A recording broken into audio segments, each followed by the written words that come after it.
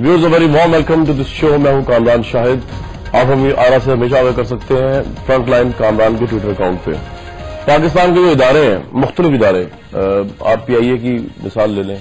आप जो steel mill है, उसकी मिसाल ले लें। आप अस्पतालों की मिसाल ले लें। आगे गावा बिगड़ा हुआ नज़र आता है। एक इदारा जहाँ पे हम समझते थे कि प्रोफेशनलिज्म नज़र आएगा, वो भी तबाकू नज़र आया इस टी ट्वेंटी वर्ल्ड कप में। मैं आऊँगा पाकिस्तान के मौजूदा सियासी हालात पे भी, लेकिन ये क्रिकेट का जो मामला है इसको बहुत अहमियत है, देखने की ज़रूरत है।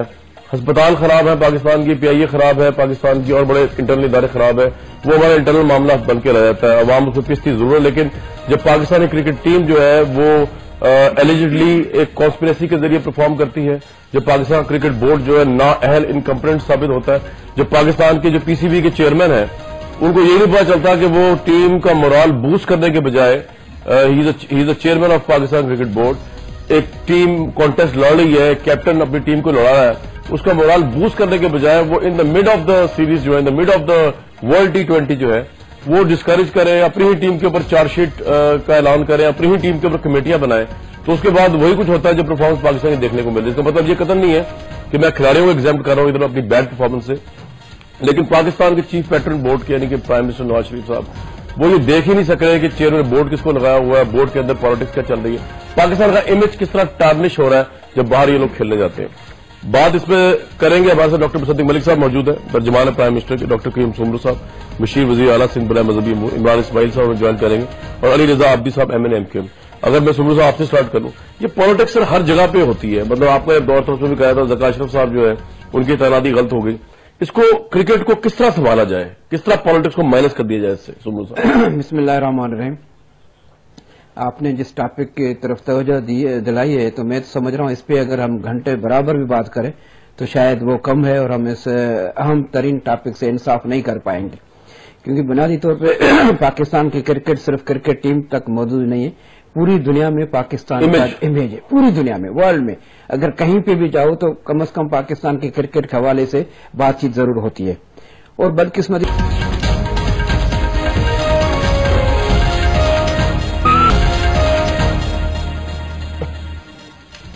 viewers a very warm welcome back to the show Karachi से हम ये शो कर रहे हैं वहाँ पर एक तो आज बलोचिस्तान का बहुत बड़ा वाक्य हुआ आपसे शेयर करते चले कि रॉ का एजेंट पकड़ा गया जो हाजिर सर्विस ऑफिसर हिंदुस्तान की नेवी का पाकिस्तान में रॉक एजेंट से दंदनाते हुए फिर रहे हैं। एक तो ये उसको इस्लामाबाद से ट्रांसफ़र कर दिया गया। दूसरा, जिस जिस शहर से मैं आपसे मुखातिब कराची, वहाँ पे एक एक और तूफ़ान जो मचाया हुआ है, वो है मुस्तफ़ा कमाल साहब की पार्टी ने। आज वो हैदराबाद गए हुए थे और आज उन्होंने बहुत सी बातें की। इसमें एक बात ये भी शामिल थी, उन्होंने कहा कि मुतदा कौम मूवमेंट के जो आला क्यादत उन्होंने उनसे रबता करने की कोशिश की। इमरान इसमाइल साहब, आपको तो ये भी कहा जा रहा है कि आप शायद ज्वाइन न कर लें मुस्तफ़ा कुमार साहब की पार्टी को। कितना आप समझते हैं कि उनकी पार्टी में दमखम है कि वो पीस ला सकते हैं कराची के अंदर? ट्राई कर रहे हैं। ये वही सॉफ्ट फेसेस हैं जो एमकेएम को रिप्रेजेंट करते थे एक जमाने में। और ये सेम एलिमेंट एमकेएम का था ज़रूर, जिससे आप बात कर सकते थे या जिनके साथ आप बैठ के डिस्कशन कोई कर सकते थे। मुझे नहीं पता आपको एमके में पीछे आपसे मुलाकात हुई रजा आलम साहब की बड़ी लंबी चौड़ी रजा आलम से मेरी मुलाकात होती रहती थी। रजा मेरा दोस्त है और। लंबी चौड़ी मुलाकात नहीं थी हम एक ब्रांच पे मिले थे। कॉमन फ्रेंड ने ब्रांच पे बुलाया आप ऑफ़र किया नहीं पार्टी ज्वाइन करने के लिए? नहीं। अच्छा करते तो आप ज्वाइन कर लेते। नहीं। उनसे पता रहता को कि मैंने अपनी पार्टी नहीं छोड़नी। ना न मैंने उसे ऑफ़र की न उसने मुझे ये जो उनके इतने एलिगेशन है मुझे क्यादत पे उसको सब्सटेंशिएट किया अगले दिन इमरान खान साहब ने एक इंटरव्यू में और कहा कि ये तो ऐसी कोई बात नहीं मुझे तो खुद चौही निसार ने बताया कि मुझे कत्ल करने के लिए ताफ हुसैन ने बंदे दिए थे। दावन साहब ने। ये बात आप लोगों को पता चली इंटरव्यू के ज़रिए आपको पहले ही पता थी। नहीं नहीं पहले पता थी। ये काफ़ी अर्से से खान साहब ये बात बता रहे हैं अच्छा। बल्कि as a matter of fact जब ये ताज़ा ताज़ा वाक्य हुआ दो साल पुरानी बात है हम्म। तो एक आध दिन बाद मैं खान साहब से मिला तो उन्होंने मुझे ये बात बताई कि इस तरह से हुआ। तो हमने हमने भी कंसर्न शो किया कि फिर आपने सिक्योरिटी इंक्रीज करें या कुछ इस तरह की चीज़ करें तो ये didn't take serious note of it उन्होंने कहा कि नहीं ज़िंदगी बहुत अल्लाह के हाथ है मैं क्यों बनवाना चाहेंगे इमरान खान? सर वो बाकियों को क्यों मरवाया? और जो यहाँ पे इतने लोग मरे हैं, जो मुस्तफ़ा कमाल जिनके ज़िक्र कर रहे हैं, नाम ले रहे हैं, जिसका रजा अरुण ज़िक्र कर रहे हैं, नाम ले रहे हैं, या जिसका अनीस कायम खानी जो इनके सबसे ज़्यादा वर्कर्स के सबसे ज़्यादा चहीते आदमी थे, या जिस वर्कर्स को यहाँ पे unit in charge sector in charge direct उनके साथ कांटेक्ट में रहते थे, वो जिनके नाम ले रहे हैं कि इनको मरवाया। ये तो ये तो वही रिटॉरिक है जो पहले सारी पार्टियाँ, बशमूल पीटीआई ये कहते रहे कि जी मुतहदा से अगर टेररिस्ट का एक एलिमेंट है, अगर वो निकल जाए तो मुतहदा इज़ मोस्ट वेलकम कि वो कराची में क्या पूरे पाकिस्तान में आके सियासत करे सीटें जीते हुकूमत बनाए जो मर्ज़ी करे हक है उनका एक एज ए पोलिटिकल पार्टी तो, लेकिन जो टेरर एलिमेंट था उसको निकालना ज़रूरी। है आबिद साहब ये इमरान खान साहब का बयान आया और अभी इमरान ने सफ़ेद साहब से पूछा था आपको लगता है कि इल्ताफ हुसैन साहब मरवाना चाहते थे इमरान खान साहब को दो साल पहले? बड़ा खतरनाक एलिगेशन है और चौधरी निसार ने बताई ये बात। तरदीद नहीं है हुकूमत की तरफ़ से अभी तक इस पर यानी मुझे भी बड़ी हैरत है कि दो साल तक खान साहब जिसको लेके बैठे रहे ना उन्होंने डंडोरा पीटा ना इस पे शोर मचाया ना उन्होंने कोई रैली निकाली ना कोई और चीज़ कही इस पे। और ऑल ऑफ़ अ सडन अब जब एक पॉलिटिकल एनवायरनमेंट गर्म हुआ है तो उस पर ये कह रहे हैं कि जी हमारे सारे स्टैंड्स की तायद की है मुस्तफ़ा कमाल ने। तो साथ में बात को खत्म करते हुए यूँ भी पूरा पूरा सेंटेंस बोले ना कि हमारे स्टैंड्स की मुस्तफ़ा कमाल ने तायद की है और हमने जो मुँह की खाई है, इसी तरह मुस्तफ़ा कमाल भी इसी- तरह की मुँह की खाएगा। तो ये बातें करना ऐसे पॉइंट पे आई डोंट थिंक कि इमरान खान साहब एक स्टैचर है, उनका एक लीडर है, और फिर वो जो कहानी बता रहे हैं कि जी चौधरी निसार साहब ने तो इसी तरह कुछ एंकर्स को भी पहले कहा गया था, कुछ सोर्सेज की तरफ़ से कि जी आपके साथ ये होगा, फिर बाद में सब कुछ क्लियर हो गया कि ऐसी कोई बात नहीं थी। और ये तो रूमर मिल तो चलता है और अगर लेकिन आबिद तो साहब ये चौहरी सारे तरजीह नहीं की इस बात की। क्लियर तो नहीं हुआ। आज भी आज भी तकरीबन चार हाँ तो वो सब्सटेंशिएट कर देना उसको कन्फर्म कंफर्म कर। दे। चौधरी साहब मुसद्दिक साहब हाँ, गवर्नमेंट के स्पोक्स पर्सन उनके पास अगर तो कोई इस तरह की रिपोर्ट होगी तो मुसद्दिक साहब कह दें कि जी बिल्कुल चौधरी निसार साहब के पास ये सबूत है और मुसद्दिक साहब जनाब इस तरह किसी बात की तस्दीक नहीं करते ये मुसद्दिक बस नाम से मुसद्दिक है। ये तस्दीक तस्दीक नहीं है। नहीं ये तस्दीक ये ये तस्दीक है और ये बात सही है उनके पास प्रूफ है चौधरी साहब के पास। वो वो वो कोर्ट में जाना चाहिए इस पर तो बाकायदा बड़ा केयर होना चाहिए। ये मैं ये तो नहीं कह रहा। नहीं, ये काम ये साहब- नहीं है वो मुसद्दिक नहीं है जो तस्दीक करे। डॉक्टर साहब तस्दीक नहीं हुई आपकी आपके पार्टी की तरफ़ से। इसकी नहीं करेंगे। जी मुसद्दिक मलिक साहब। भाई ये तो तस्दीक है। साहब ने तो मेरे नाम के ऊपर शहादत दे डाली। जी देखें मैं अपना तो नाम का अदा आपके नहीं नाम का भी हूँ। मगर कामरान शाहिद साहब ने शहादत दे दी। शहादत दे दी फौरी तौर पे। कि ये नाकाम हो चुके हैं, अपने नाम का नहीं रख सके मान। देखें ये एलिगेशन लाइट टोन में गया, आप सीधे से ले जाइएगा। एलिगेशन और पता चले मेरे खिलाफ कैमरा में कार्रवाई हो रही हो नहीं नहीं नहीं not at all not at all आपको बहुत मोहब्बत का रिश्ता है और बड़ा मज़ा आता है आपके प्रोग्राम पे आके और इन्हीं बातों से आता है बिल्कुल सही बिल्कुल सही डॉक्टर साहब Not at all. बहुत तरदीद नहीं की जो निसार साहब अ, तरबियत मिली है देखें। कि इमरान खान साहब सही कह रहे थे जी हाँ। देखें चौधरी निसार साहब के पास जो इन्फॉर्मेशन है, वो इस वक्त मेरे पास नहीं, इस वजह से मैं उस पर कोई तबसरा नहीं कर सकता। लेकिन जो एलिगेशन जो लगते हैं, जब बिलखसूस ट्रीजन के और बिलखसूस रॉ से किसी रिलेशनशिप के जो जो जो एलिगेशन हैं, ये बड़े शदीद एलिगेशन हैं। ये कोई चोरी कर ली या बल्ला उठा के भाग गए या इस तरह के एलिगेशन नहीं है। ये बड़े संगीन एलिगेशन हैं। और जब किसी भी पार्टी के ऊपर ये एलिगेशन लगाए जाएँ तो उसके सबूत जो और शवाहिद जो हैं, वो पेश करने चाहिए और पेश करना फ़र्ज़ हो जाता है। या आप ये समझ लें कि आपकी ज़िम्मेदारी है नेशनल ज़िम्मेदारी है कि अगर आपके पास कोई ऐसे सबूत हैं तो पेश किए जाएँ। हुकूमत के पास जैसे जैसे सबूत और शवाहिद चले आ रहे हैं, जैसे कि मर्चेंट साहब ने कुछ चीज़ें पेश की हैं तो उन पर तहकीक हो रही है। इससे पहले भी वो कुछ लोग जो नाइन ज़ीरो के पास पकड़े गए थे, जिनके मुतलिक कहा गया कि वो रॉ में ट्रेंड हुए हैं तो एक तरफ़ तो एमक्यूएम ने उनसे लातल्लिकी का फौरी तौर पर ऐलान किया और दूसरी तरफ़ से हुकूमत जो है वो भरपूर अंदाज में उनको इन्वेस्टिगेट कर रही है और अगर रॉ का कोई भी एजेंट बावर्दी बगैर वर्दी डायरेक्ट और इनडायरेक्ट अगर पाकिस्तानी सरजमीन के ऊपर कार फरमा है तो इसका बहुत सख्त नोटिस लिया जाएगा ये मामूली बात नहीं है और हमें इसको मामूली तर्ज से देखना नहीं चाहिए और मेरे ख्याल में मीडिया पे हमें इन मामलों तो आ पर बड़ी भरपूर बात करनी चाहिए मगर सबूत के साथ और शवाहिद के साथ। नहीं हम तो हम तो कर रहे हैं लेकिन आप आगे नहीं कर रहे लोग ये कह रहे हैं सुब्रू साहब रॉग एजेंट यहाँ से पकड़े जाते हैं इंटेलिजेंस पूरा केस बना के देती हैं हुकूमतों को हमारी हुकूमत को मौजूदा हुकूमत को आगे जाके डोसियर पेश करें। वो उस शदमत से पेश नहीं किया जा रहा कि बात बन नहीं रही आगे। कोई मान नहीं रहा कि रॉ काम कर रही है कराची नहीं में डोसियर्स तो शायद साहब कामरान शायद साहब डोसियर्स तो पेश किए गए हैं। इस मुल्क के साथ। जी। सर उस शदमत से पेश किया गया हमारा हमारा जो फैक्चुअल मैं- मैं आता हूँ मैं हूँ। वही बात कर रहा हूँ कि हमारी ये बदकिस्मती है कि हमने इंडिया के साथ जो मामला हैं हमारे वो जाती ताल्लुकात पे मबनी हो गए हैं खानदानी ताल्लुकात पे मबनी हो गए हैं। वो कौमी मफादात जो हमारे होने चाहिए मुल्की मफादात जो हमारे होने चाहिए जिसमें हमारी प्रायोरिटी हमारी फोकियत अपने खानदान से ऊपर होनी चाहिए अपने पार्टी की एफिलेशन से ऊपर होनी चाहिए बदकिस्मती से नवाज़ शरीफ साहब की मैं, मैं यही कह रहा हूँ बिल्कुल मैं वाजह तौर पर कह रहा हूँ और शायद इसकी तस्दीक वो करें मुसदक साहब या नहीं। लेकिन खानदानी ताल्लुकात को अपनी हद में रखा जाए मुल्की मामला को उसी बराबरी के साथ देखा वो मैथ मर्डर है इंडिया का प्राइम मिनिस्टर खानदानी ताल्लुक किस तरह हो सकते हैं नवाज़ शरीफ साहब के भाई? तो फिर कैसे आप एक खानदान को खानदान की तरह ट्रीट करते हो जब मुल्क में उनके कारंदे यहाँ काम कर रहे हैं कराची से लेकर पूरे बलोचिस्तान में सारे राह के एजेंट बैठे हुए हैं। आज इनको एक बंदा नज़र आया ये कब से हम चीख रहे हैं हम चला रहे हैं कि ये लोग हैं वहाँ पे इनका बहुत बड़ा कराची में भी तो है। क्या कर रहे हैं? लोग पूछे तो हम कह रहे हैं हम तो कह रहे हैं ऑपरेशन क्या हो रहा है यहाँ पे? पकड़े गए हैं। तो यही मैं कह रहा हूँ कि अगर इनके खिलाफ एक्शन उसी अंदाज में उठाया जाए इसका एहतजाज का तालुकात से भड़ गए देखिए इनका एहतजाज जो पूरी दुनिया में करना चाहिए। इंडिया के साथ कल से आज ये वाक्य हुआ है तो क्या हमने कोई एहतजाज किया? वकार तरीके से एहतजाज होना चाहिए। हम इंडिया के साथ ताल्लुकात बेहतर रखना चाहते हैं लेकिन बराबरी के साथ। अपनी इज़्ज़त और वकार को दाव पे लगा करके अपने इंडिया के साथ ताल्लुकात बेहतर बनाए इससे न हमारी मुल्क की खिदमत हो रही है आप एग्री करते हैं खानदानी ताल्लुकात की वजह से कॉम्प्रोमाइज हुई फॉरन पॉलिसी इंडिया के साथ? बिल्कुल हुई है हंड्रेड परसेंट हुई है क्यों नहीं हुई? ये उनके खाली खानदानी नहीं इनके फाइनेंशियल ताल्लुकात भी हैं इनकी इन्वेस्टमेंट है वहाँ पे इनके साहबजादे वहाँ पे इन्वेस्टमेंट करते हैं मित्तल के साथ कारोबार है। मैं भाई की बात को आगे बढ़ाता हूँ कि हमारा तो कबूतर भी इंडिया में पकड़ा जाए ना तो उसकी भी बात यूनाइटेड नेशन तक सर्विस नेवी का ऑफिसर उसकी बात यूनाइटेड नेशन तक जाती है कि ये ये कबूतर जो है ये जासूस कबूतर है उसकी सीटी स्कैन होती है उसके अंदर चिप्स ढूंढे जाते हैं उसके चार दिन उसका वावेला पूरी दुनिया में मचाया जाता है और पूरी दुनिया में शक की नज़रों से देखती है कि ये स्पाइंग करें यहाँ पे उनका स्पाई भी पकड़ा जाए तो हम उनसे शिकायत नहीं करते। क्या इंडिया के एम्बेसडर को बुला के बात की?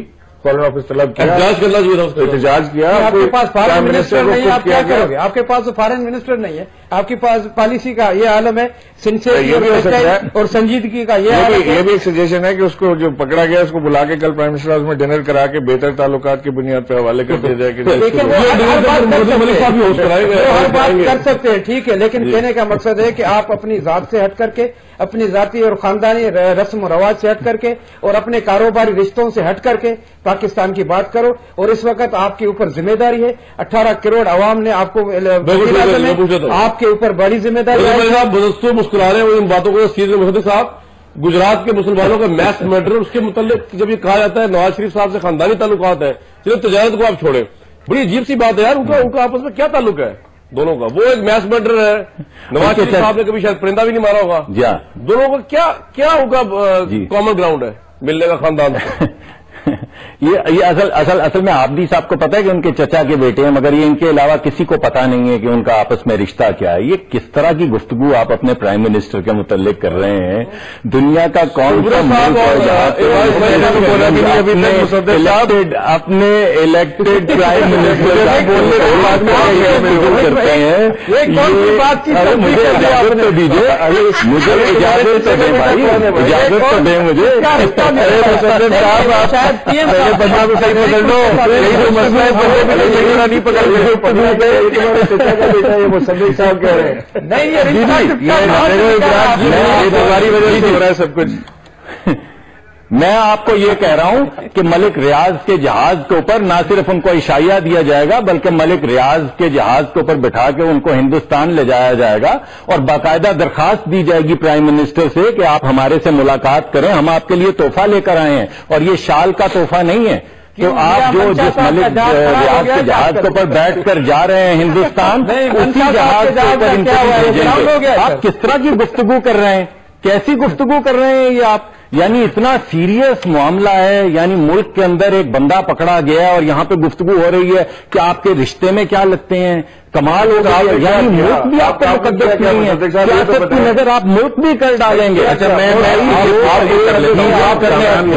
रीजन करने वाले के साथ जाता है। हमें इन्वेस्टमेंट कर रहे हैं और हमें आप हमें बताइए देखिए मुकदस ये देखिए ऐसे इल्ज़ाम ये आपने अभी बैठे लगा बैठे यही इल्ज़ाम लगा दिए वो असल में आपके असल में वो आके क्या कर रहा है इस्माइल साहब आपने भी तक किसने आप पे आमादा किया? आप क्या बात कर रहे हैं इमरान, आप किस लिए मिलने गए करें आप करने काहे की को है। मिलने गए? बताएँ, आप ये रॉ को पकड़ा आप आप मलिक साहब के जहाज़ गए थे। कोई इतराज आप मलिक साहब के नहीं नहीं नहीं नहीं इससे के किराए तो आप थे जहाज़ हिंदुस्तानी वज़ीर आज़म को मिलने वो काहे को गए किराए पे चलाते हैं। आप आज तक एम क्यू आई आप- आप शिकस्त का केस नहीं कर पाए। आप इस वजह से आप हर वक्त क्रिकेट हार जाए तो जी चाहता है जमहूरियत चली जाए। बात हैं यह है कि कि आप अगर साबित कर तरीके दें कि इमरान खान का जाए। इंडिया में है बेशक इंडिया में कोई रिश्तेदार है तो हो के लिए मैं आपकी बातों का आपका पैसा भी इंडिया में है मज़हब आपका बातें हैं। भाई, बातों का आप यहाँ गए इमरान इस्माइल साहब? आप वहाँ लगाते हैं तो ये सारे मैं नहीं सुनूँगा बात आप पहले मेरी बात सुने आप जो पैसा पाकिस्तानी पैसा इंडिया में लगाते हैं उसका हिसाब कौन देगा आपके यहाँ शादी में जो इंडियन इन्वेस्टर्स आके बैठते हैं उसका हिसाब कौन देगा जो आपका prime minister Indian prime minister Pakistan की सारी डिफेंस को गायब करके अचानक पहुँचते ज़्यादा हो मीटिंग। के अंदर उसकी मीटिंग के अंदर जो मित्तल के साथ मीटिंग होती है उसका हिसाब कौन देगा? आपने यहाँ से पैसे पाकिस्तान के ले जाके इंडिया में पार्क किए हुए बोलने की ज़रूरत नहीं आप ही साहब के पास जाते हैं। साइलेंस हो आप ही साहब व्हाट्स योर टेक अब इस गुफ्तगू का आपने आप गैर मुल्की लोगों से सारा।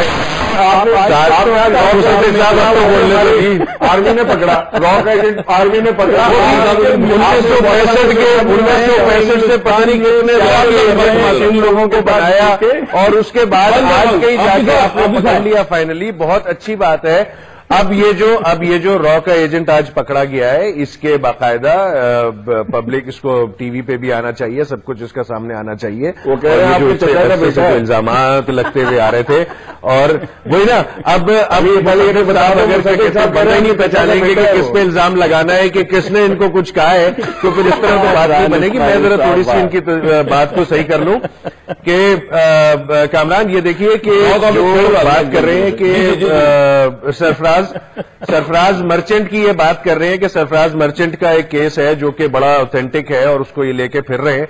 आज ही एफआईए को स्कॉटलैंड यार्ड ने खत भेजा है और कहा है कि जी हम आपके साथ डॉक्यूमेंट शेयर नहीं कर सकते क्योंकि वो एक अंडर ट्रायल इन्वेस्टिगेशन चल रही है। तो ये सरफराज मर्चेंट साहब के साथ ये स्कॉटलैंड यार्ड ने कौन से पेपर शेयर कर दिए जो कि एक अंडर इन्वेस्टिगेशन केस है और उस केस का पूरे मुल्क में इतना ढंडोरा पीटा जा रहा है। सारे मीडिया भी उसको लेके बैठा हुआ है और बता दिया कि वो तो कंफर्म भी कर चुका मीडिया कि जी ये कर रहा था यहाँ पे। मर्चेंट साहब, फिर लॉ की फंडिंग के हवाले से अगर बात करते हैं, तो तो फिर बीबीसी जी। बीबीसी के बारे में कहते भाई, बात ये है कि जो- सरफराज तो बकेट है ना, मेरी- मेरी बात का कहा था। सर मेरी बात तो सुन लें आपदी भाई एक बात तो सुन लें आपने मीडिया की बात कर दी मैं थोड़ा बता दूँ आपको। सरफराज मर्चेंट की कोई अहमियत नहीं है। अहमियत है स्कॉटलैंड यार्ड के उस डॉक्यूमेंट के पहले पन्ने की जिसके अंदर तारिक मीर साहब की स्टेटमेंट गई हुई है कि उन्होंने ये कहा है कि जी ये तो से तो मिली है हैं, हम आपको डॉक्यूमेंट दे ही नहीं सकते। कामरान कामरान नहीं तो यार्ड ने आज ना, बाहर आ गया डॉक्यूमेंट ना। नहीं दे सकता। मैं तो कह रहा हूँ मुकदमा करे ऐसी कोई बाहर आ मुकदमा जाए, ये कोई हमारी मुकदमा करे है। है। आपको अरबों कोई ये नहीं नहीं नहीं हाँ। ऐसे नहीं। वो अंडर ट्रायल केस है अंडर ट्रायल केस में मुकदमा करना बड़ा easy है। उसके डॉक्यूमेंट्स वो निकाल के बाहर डाल के वो उसको उसको खराब करेंगे अपने Right, मैं को, लूँगा। वो अपनी तरफ़ चला रहे हैं मैं आपको। एफआईए को कह दिया उन्होंने हमारी निकाला। इदारे को कह दिया कि हम डॉक्यूमेंट शेयरिंग नहीं करेंगे ठीक आपका पॉइंट आ गया अली अली रजा अब्दी भाई मुझे ब्रेक लेना है स्कॉटलैंड यार्ड डॉक्यूमेंट नहीं निकालेगी लेकिन उस डॉक्यूमेंट में मर्चेंट साहब की भी क्योंकि इंटरव्यू हुआ हुआ है उसकी एक एक कॉपी सबको मिली हुई है वो जिनको मिली है उनमें से वो कॉपी लीक हुई है तो उस पर आप मुकदमा कर दें। बीबीसी पे कि जिन्होंने कहा है कि ये स्कॉटलैंड यार्ड की डॉक्यूमेंट है और कह दें कि नहीं है बीबीसी को आप सू कर दें। बीबीसी पे इससे पहले टोनी ब्लेयर ने सू किया था और उनको करोड़ों पाउंड का हर्जाना उन पर आया था। उनके सारे एग्जेक्टिव को रिजाइन करना पड़ा। बीबीसी हुकूमत केस जीत गई थी। लॉर्ड हटन की इंक्वायरी हुई थी। लॉयर हम प्रोवाइड करेंगे आपने आप कर दे। उसके भी लॉयर के भी चार्जेस उनको पे करने पड़ेंगे। अगर जीत गए तो एमकेएम को पे करेंगे बीबीसी वाले। एक ब्रेक लेते ही वापस आते हैं।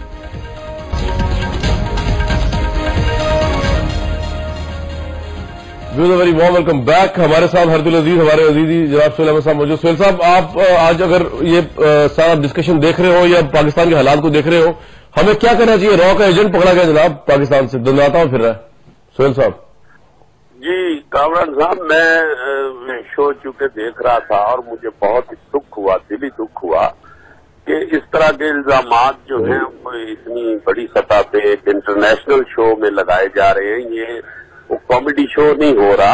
अफसोस इस बात का हो रहा है कि जो प्राइम मिनिस्टर पे भी अभी इल्ज़ाम लगाए जा रहे हैं उसे इंडिया के साथ जोड़ा जा रहा है। मैं तो जाती तौर पे मुझे बड़ा दुख हुआ है इस बात पे। मगर उससे ज़्यादा दुख इस बात पे हुआ है कि जो तर्जुमान बैठे हुए हैं वज़ीर आज़म साहब के वो मुसलसल इन इल्ज़ाम पे कहकहे लगा रहे हैं। वो तर्जुमानी यहाँ पे करने आए हैं वो सवालों को क्लियर करने आए हैं आवाम के जहनों से इन सवालों को दूर करने आए हैं या आ, हमें खुद पे इसकी मशहूरी दिखाने आए हैं?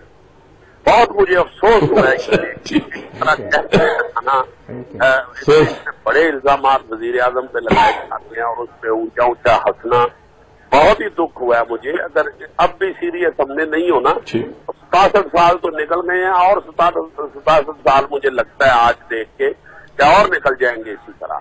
हम तो बड़ी उम्मीदें लगा के बैठे हुए हैं कि ये तरक्की की तरफ़ इंशाल्लाह चला जाएगा और अच्छी अच्छे रास्ते पे निकलेगा इंशाल्लाह जल्दी। मगर ये तो बाकायदा तमस्खा उड़ाने सारे बैठे हुए हैं। मैं बड़ा ही दुखी हुआ हूँ। बाखुदा मेरा रोना निकल रहा है कि ये क्या हो रहा है? किस तरह का बिहेव है सबका? जो राह वगैरह का एजेंट वो वो निकल आया है। सामने साहब ये भी इसमें भी हम कोई दलेरी का मुजाहरा नहीं कर रहे। हर दूसरे दिन ये ऐसी कोई ना कोई चीज़। निकलती है। पिछले कोई कई साल सालों से तो वो अल्ताफ हुसैन साहब को और एमक्यूएम को लेके हम राह से जोड़ के बैठे हुए हैं। उसका कोई रिज़ल्ट नहीं निकल रहा। अभी मुस्तफ़ा कमाल साहब को जब उन्होंने डंडे मारे हैं तो उन्होंने भी उनकी भी टकी है और उन्होंने भी एक पार्टी बनाई है। उन्होंने भी फिर ये सारा कुछ बताया है। इससे पहले भी बहुत कुछ। मिलता रहा है हमें। नेट के ऊपर बहुत कुछ मिलता है अपने मुहिब वतन लीडरों की ऐसी बातें बेशुमार जो कि इंडिया में जा जाकर तकरीरें हुई और सारा कुछ। किसी का कोई रिज़ल्ट सामने नहीं आ रहा। तो मैं ये अभी जब आप क्रिकेट की बात कर रहे थे और ये तर्जुमान जो हैं वज़ीर आज़म साहब के ये फरमा रहे थे कि पहले कौन से आ, आते रहे हैं चेयरमैन बोर्ड के। मैं इस हवाले से ये कहूँगा कि अब पाकिस्तान बन नहीं रहा। पाकिस्तान बने हुए सतासठ साल गुजर चुके हैं। अब खुदा वास्ते ये ना देखें। दूसरे पे सिर्फ़ इल्ज़ाम तराशी ना करें इसका कोई स्टेप उठाएँ। जहाँ जाके चाइना में देखें छोटी सी मिलावट करने पे छोटी सी रिश्वत लेने पे फांसियाँ चढ़ा रहे हैं अगले। जब चार बंदों को फांसी चढ़ती है तो वो फिर सारा मुल्क जो है वो अलर्ट होता है। ऐसे ना करें। आप लोगों ने और कितनी देर भाई भाई मैं आपसे और मजीद तजिया लेता वक्त की बड़ी किल्लत हो गई वक्त खत्म हो गया। बहुत ज़बरदस्त आपने गुफ्तु की आपसे बिल्कुल एग्री करता हूँ इस पे। मुसद्दिक मलिक साहब आप कुछ कहना चाहते हैं क्विकली मैं प्रोग्राम बिल्कुल खत्म हो गया। डॉक्टर मैं सिर्फ़ यही कर जी मैं सबसे पहले यही कहूँगा कि अगर आपका दिल दुखा है इस बात पे तो मैं माजरत चाहता हूँ। लेकिन ये अजीबो गरीब सी बात थी कि किसी मुल्क के अंदर उसके अपने लोग जो हैं वो बिलखसूस पॉलिटिकल लीडर्स अपने इलेक्टेड प्राइम मिनिस्टर के ऊपर इस तरह के इल्ज़ाम नहीं लगाते इन पे सिर्फ़ हंसा जा सकता है लेकिन ठीक है लगाने नहीं। ज़रूरत थी बात यह है बात यह है कि करोड़ों लोगों ने जिनने वोट दिया बात तो- तो करने देना बात तो करने दीजिए मुझे। मैं यहाँ पर नहीं गलत बात है। भी यही है। आप एक हज़ार तो मरतबा ये बात कर चुके हैं। तो ये प्राइम मिनिस्टर साहब की ना कोई ऐसी दोस्ती है ना कोई रिश्तेदारी है ना कोई कारोबार है। इस तरह की फजूल बातें जो है आपको रोकनी पड़ेंगी क्योंकि ये आपके प्राइम मिनिस्टर है? ये पूरे मुल्क के करोड़ों लोगों ने वोट दिया है इनको किया ये किस तरह की हो रही है? राइट वक्त खत्म हो गया जी। वक्त खत्म हो गया। जी जी अली साहब के मसद मलिक साहब। कुछ कह रहे हैं मुझे जी मैं ये कह रहा था कि ब्रेक पे जी जी। आपकी आवाज़ ग्रीस में